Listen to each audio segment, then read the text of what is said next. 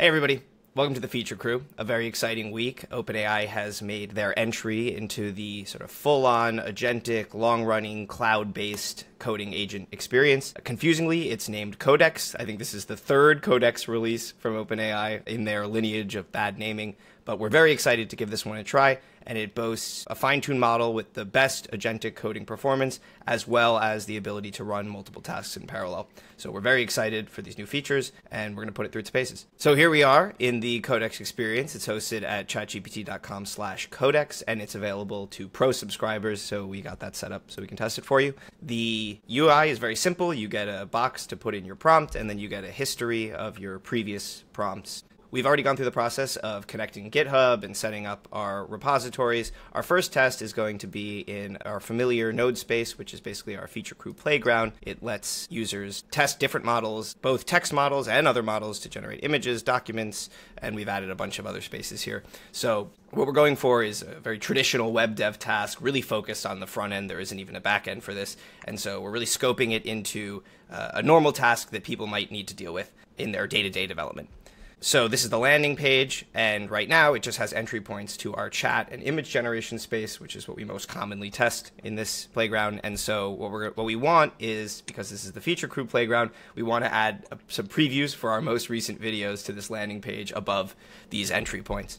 So a simple web dev task that might require integrating with YouTube in some way, and we're not being prescriptive. We're not saying use some specific npm package or use the HTML widget that YouTube provides. We're going to let Codex decide how it accomplishes this. So if I go back over to Codex, I have the prompt pre-written, super simple. Like I said, I'm just asking for that preview widget with the last three videos from our YouTube handle. I've selected the node space repository as well as the master branch and I'll send it off. So you can you can already see how this is designed for parallel task execution. It puts that prompt in the task history section and then immediately your focus and your cursor is back on that input box. So drilling into what you get in terms of preview and monitoring as it executes, we can see this sort of reasoning like little log window. If you want more details as to what's going on, you can expand this log into a more sort of terminal like or chat like view. If we scroll back up to the top, you can see that it, it starts by basically spinning up a VM in the cloud and downloading your repository, then running npm install. Something to note is that the only time it has access to the web is during that initial setup phase. So if you're asking it to add some feature where it needs to pull in a new library, it, it falls apart a little bit. Maybe we'll see that later in the video um, because it's not able to npm install or add a new module or do any sort of thing that ac- accesses the web after the initial setup lines. All right, so it's come back and you can see that it worked for two minutes about, and you can already see it getting into this like confusion with how to run npm scripts. So it did implement what we asked, and we'll have to test it ourselves to see if it was successful. Yeah.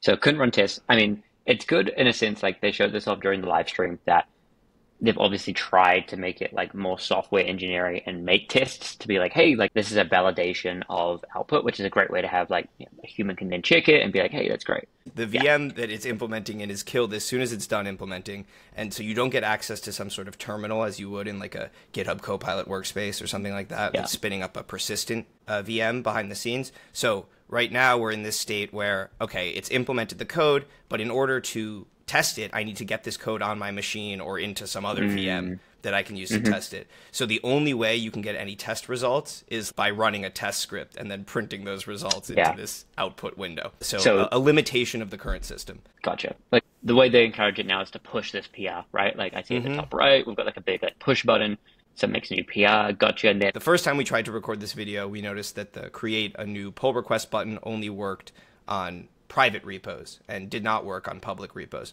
And so I'm sure that's something that OpenAI is fixing, but if you're hitting an error where you can't create a pull request, it might be because it's a public repo. So if I can view the pull request that it just made, um, I can easily merge it, but we don't know if it works yet. So now we hit that sort of friction point where I need to somehow test this code.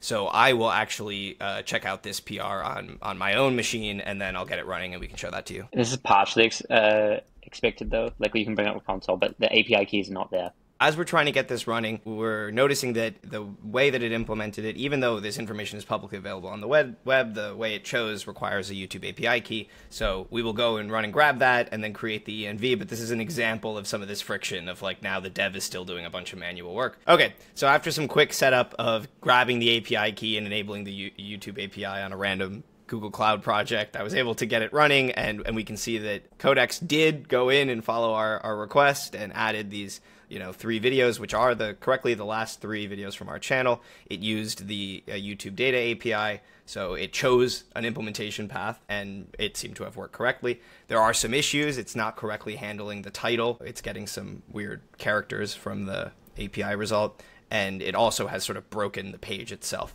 Dylan, what, what do you think? Not bad. I mean, we've done this before. At least this is centered, kind of looks reasonable, like it's kind of maintained all the same like kind of styles. So uh, not the worst. We're just going to quickly go ahead and look at this to kind of diagnose, and maybe we can fix up the titles and that bit at the bottom.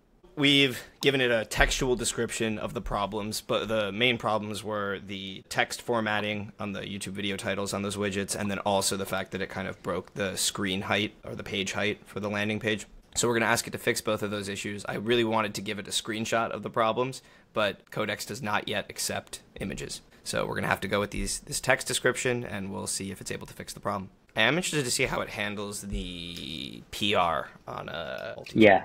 Yep, yep, yep. Oh, it came back. It made the changes. Uh, it looks like it kind of overwrote the PRs. Yeah, I'm not sure what this draft, if, if it would be different if we started with a draft. Mm.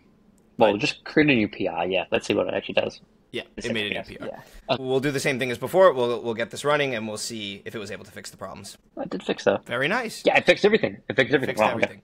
All right. Okay. Good. Well so done. yeah, guys, I say kudos to Codex. It looks like it did fix everything. This is not a super big feature, uh, but the fact we were able to give it one turn just to say you didn't get this. Technically, it, you know, it hasn't run tests or stuff, so made some pretty reasonable code. It was interesting that when we you know gave it feedback and then push it. You it again, it doesn't push the same PR. And to be fair, they said it's like a research preview. This is still awesome. The fact that it works with Git anyway is a great sign. But hey, look, it looks like the actual code it wrote was pretty good. It ran pretty fast. It only took on the magnitude of minutes. Like that was much faster than even like Windsurf, like SWE one and stuff like that. Initial impressions are pretty good. So pretty impressive. We, we like that it was able to one implement the feature we asked for, do a traditional web dev task, and then when it didn't do it perfectly the first time, it was able to iterate. And by the second time, this is exactly what we were asking for. It was able to fix those bugs. While this isn't unique to Codex, right? We've done this feature before where we ask for this exact same request. Uh, it's it's good to see Codex doing well through this type of prompt. Now we want to push it a little further and see, especially because OpenAI is sort of using this internally and they're doing uh, AI research and AI application primarily. So we want to see how well it can do with a sort of AI application task. And so we're going to ask it to create an agent space. Right now, all we have is a chat space where you can chat with a bunch of different models at the same time, and we have the same thing for images and documents and a couple of other modalities. So we want to see if we just ask for an agent space without being too prescriptive, how does it handle that? What we would expect is something similar to this chat space, but where the models are running on a loop and maybe have access to tools. Maybe we can edit the system prompt. We'll see how far it can go. And part of the reason to keep it ambiguous here as well is to see if it also asks questions. So does it just dive into code, or is it going to actually stop and you know like deep research say what did you mean by these? Um, I think we just want to push like what the default behavior is here. We've got a very simple prompt typed up here. We're just asking for an agent space and we're clarifying that users will be able to configure and test agents backed by different models. And we've included a very high level definition of what an agent is. I just said an AI agent can accomplish tasks over a longer time horizon, trying to distinguish it from that chat space. We'll send this off and we'll see what it's able to do and really how it interprets this more ambiguous AI application prompt. So while this is working, we're also going to kick off another prompt to show how easy it is to queue up these parallel tasks. So if you've watched the channel before, you've seen our poker or solitaire spaces, and so we'll ask for a poker space here and see how, which is traditionally a fairly challenging task for us to implement the rules of poker and also the AI application elements. So we'll see if it can handle that at the same time. We're asking for the poker space and just clarifying that the models are only responsible for selecting their move and that the rules and the orchestration of the game need to be handled deterministically. And it's that easy. We now have Codex working on two tasks in parallel, and we could very easily stack more if we wanted. And to be fair, this is kind of incredible, right? Like right now we're kind of critiquing, oh, it doesn't keep the VM and stuff, but part of I think the the selling point of Codex is you can just like go ahead and send off like 10 different tasks, go get a coffee, come back, and you've had like 10 different PRs potentially. It's research preview, but it's it's super encouraging to see us like already at this point. We, we were kind of sitting here like idiots waiting for it to finish, but they were both finished. I guess it just wasn't updating the loading string or the loading indicator. First, we'll load up the agent request and see if it was able to implement that, and then we can check in on poker. We Okay. agent space. And it, oh, it loads up with two already added. Will it let me add another one? Okay, it does. It seems like it's using the document node. Yeah. Got the typo, the some bit a prompt. So we know it must be copying from the document space. Yeah, that's not a great sign. I specifically asked for the accompanying nodes that are required, so it didn't describe so- all for the agents. So it updated Yeah. the the string on the on at least the space, Actual space elements. Yeah, yeah, Yeah. yeah. Let's give it a goal. As we're picking through this, we realized didn't extrapolate much from the prompt. Uh, it didn't add any concept of tools. We even asked for the ability to configure agents, which it left to you can configure the model that backs the agent, but Yeah. there's no there are no extra options to even change the system prompt or what, what we would have loved to see is some sort of tool tooling like realizing that agents require tools. So if you've seen the channel before this is our maze test and we were trying to think of something that might benefit from a looping agent even without tools and so we're going to give it a, a random maze prompt and see how it's able to do. We've configured the two agents one is backed by 4o and one is backed by 4o mini and we'll send off the prompt. So I mean, at least it did send off stuff. Right, but it looks like a chat request. Like, just it doesn't look like there's request, any yeah. sort of looping. yeah, Um, I mean that makes sense. The I think the PR is only 50 lines, so not unexpected. This is not the worst. Uh, it clearly shows that the, the default behavior is not to ask questions, right? Which you would expect on like a more ambiguous request. really shows that you need to tell it exactly what to do. Right? Correct. It's optimized for instruction following, and so right now it's not going to give you those magic vibe code moments of I just typed a one sentence prompt in and it implemented agents. I would Yeah. have needed to be more prescriptive, it seems, with exactly what I mean by an agent and that I want it to be able to loop and that I want it to have tools. And so for now, we're gonna we're gonna move on from this to to keep it going and to check in on that poker space. Maybe we'll do a live stream at some point where we push it really hard on the agent thing and see how well it can do there. But I guess my takeaway here is that it can handle, especially if there are examples, it can handle some some amount of using LLMs, and we'll see if it's able to take that a step further with poker. But for now, be very prescriptive. The changes are live, and so we'll check out this poker space for the first time and see what it was able to implement. Okay. Okay. So it has nodes for multiple players. It seems like you're kind of fixed at two players. I don't see a way to add more. We'll do the same thing as before, where we'll have one player be backed by 4o and one player be backed by 4o mini, and we'll see what happens when we start the game. So it looks like it's uh two simultaneous. Oh no no no! It says your hand and community cards. Okay, well Yeah, I mean, it did not correctly implement poker. It's showing us the community cards, and it's saying that we're in the pre-flop stage. yeah. So Can you click start game again just to see? Like it probably just resets, right? There's no concept of big or small blind. There's no betting, so I'm not really sure. It's just uh, like to your point, it's not implemented it correctly. yeah, every time I click it, it Just separate.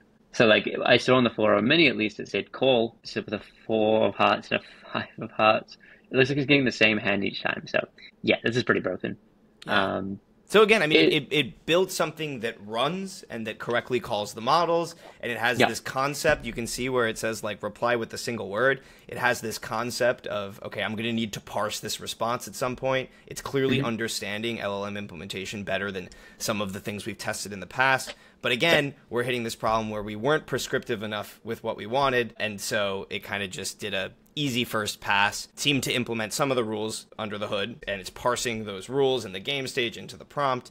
But uh, in terms of the controls it gave us, like the ability to do anything except just reset the game, and the and the view it gave us, it doesn't show the cards, it doesn't do anything fancy in that regard. It just uses the chat node. So same as before, we're seeing glimmers of it being able to do LLM implementation. And again, we'll, we'd love to push this further in the future. But for now, what we're learning here is you need to be very prescriptive. You need to tell it exactly what you want it to do. But kudos for for both of these, getting something that runs first shot, right? Like it actually did make something that you could click on. That so this seems great for like building demos and stuff. But I'm not getting the uh, the true AGI, right? Agreed. And so to really see how far it can go, especially with a bit more of a prescriptive prompt, we're going to switch over to one of our classic game dev tasks that we have a long sort of spec written out for and see how well it's able to do larger implementation challenges, but with some of that uh, some of those instructions present. We're all set up for our game dev test. If you've seen the channel before, one of our favorite tests is a procedurally generated planet. And you've also seen that sometimes, particularly agentic coding environments struggle with the cold start problem. In some ways, asking for a single HTML file is easier for them because it's a very known environment. It's easy for us to run. But with these agentic coding environments, we want to test their ability to implement a more production ready, sort of real life code base. And so we introduced in our windsurf video what I've been calling the vibe shell, which is a super simple environment that one implements a bunch of the libraries that will be needed Three.js rapier for physics as well as simplex noise. And then they'll also have access to the, the one sort of main.js file that implements what you're seeing on screen which just shows how to use those libraries and what syntax will be necessary. So we wanted to overwrite this super simple cube. Uh, i can refresh it so you can see that there, are, there is physics and the cube is colliding with this procedurally generated terrain. And so we wanted to overwrite these like 80 lines of code or whatever it took to make this and just use that as a starting point or an example for how to implement our procedurally generated plan. We have a very long prompt for this planet, and so we're hoping that this gets around some of the challenges we were having with our last round of tests where we weren't being prescriptive enough, and so it was being a little lazy and sort of taking things to mean the easiest version of what we were asking. In this case, we're asking for a lot of different features, including the planet terrain and different biomes, the clouds, the atmosphere. And so this is a much larger implementation task. And so we'll see how it performs. So it came back. Our initial reactions is that it's like pretty sparse. You know, even mm-hmm. though we gave it a, a set of features and I, I asked it specifically for like a well organized project, it created a single file. So we'll see what happens. We'll see if it was able to implement all those requirements in very few lines of code. Hmm. Okay. Well, it's made not a bad implementation. Like, if we zoom in, is that water? Or is it just like the? It kind of looks like water. It does kind of look like water, and there is an atmosphere. I don't know It's, it's like just not very. It's not very high, but there's definitely yeah. a distinct atmosphere and water. It looks not terrible. It's got like a water. It's got an atmosphere. The biomes and the noise look kind of interesting enough. Um, it's obviously missed a lot of the context around adding sliders and other like complexity and so on.